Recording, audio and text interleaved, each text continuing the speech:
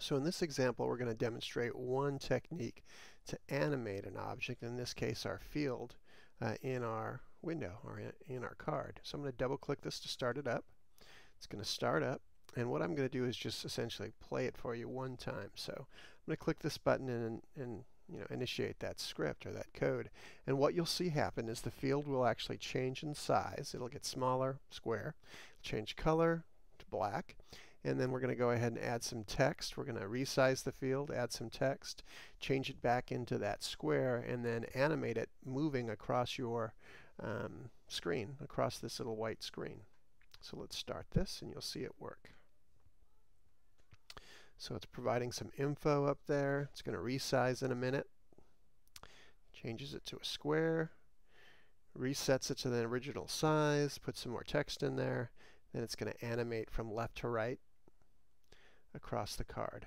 And that's pretty much all it does. So let's take a look at the script to see how that was done. So I'm going to double click this. It's going to open up the property inspector. I'm going to go to the triangle, click edit script, and then we'll move this down a bit and make it a little bigger. And I'll scroll up. And you'll see now that um, at the very beginning of this, so on mouse up, it's going to put the location of the field into a variable. So every object on your card, every object, whether it's a button or a graphic or a picture or a photograph or a field, it has certain properties. And one of those properties that it has is its location. So we're storing the location of this field where it's at right now. Because when, when we store that information in a variable, in, in this case, this variable, t original location, we can always go back and set this particular field back to its original location by because we've saved the original location. We don't have to remember what its coordinates were or anything like that. We can store those coordinates and then use them later on during the, the script or during the code. So what it does is it puts the current height of the window, it puts the current width of the window, um, it puts the height of the field, and it puts the width of the field. So it's storing how high and how wide the card field is, in this case this field.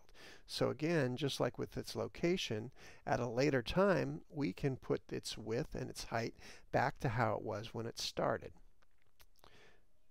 So then over here in the script you'll notice that um, um, we're putting the stack width into t width and x and height and return to the card field 1. So we're actually putting the text here. It says the stack width window is, and I think it was like 460 by 220 or something like that. It's waiting two seconds. Then it's putting more text in the script. And then it's waiting two more seconds. And then it's going to animate that script. right? And then it sets the width of the card, the card field 1. So the width, the area across the card field, to 40 and it sets the height of the card field to 40. So that's going to essentially create a square. It sets the background color of it to black, and you saw that happen. Then what we do is we hide the object so we can show and hide objects. So we're hiding the object, in this case the card field. We're waiting one second, and then we're setting the height and width uh, back to the original size. We're putting some more script into that uh, text field. All right. You can see it here into that card field.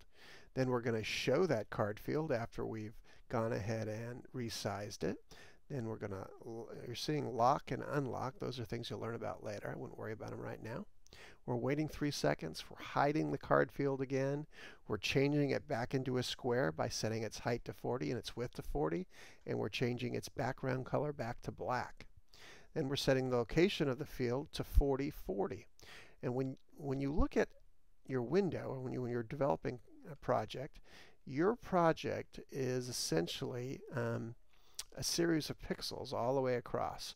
And the way we measure that is in the top left corner, that's usually, usually 0, 0. And the numbers get bigger as you go to the right. And as you go down, the numbers go get bigger. So in this case, we're saying set this card field to the location of 40, 40. So that would probably be 40 pixels off the corner and then 40 pixels down, probably right about in this area. So we're going to set the location of that little field now, which is a square. It's a 40, 40. And then what we do in this script is we're going to move that card field or move that object from its starting place of 40, 40 to 375, 40.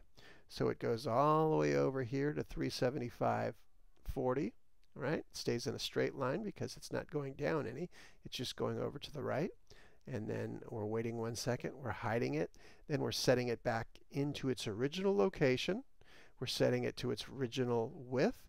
We're giving its original height. And we're setting the background color back to white. And that way it looks like it's it ends where it started. So we'll do it one more time just to demonstrate it, and you'll see it go through again. So there's the original size, 400 by 250. It's a square. We resize it back to a field. We put more text into it. We change the location, and then we move it to 375.40. And then we reset all the settings back to how it was when we started.